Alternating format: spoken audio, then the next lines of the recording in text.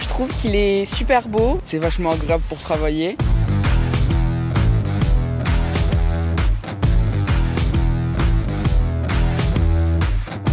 Nous faisons en sorte que le lycée soit au plus proche des populations, que nos lycéens aient les temps de trajet les plus courts possibles.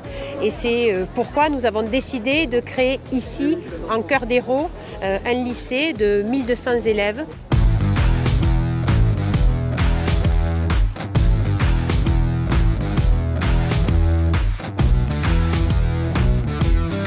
Sera à la pointe en fait euh, sur la partie effectivement environnementale. Et c'était l'objectif numéro un de la région et je pense que tous ensemble on a relevé ce défi.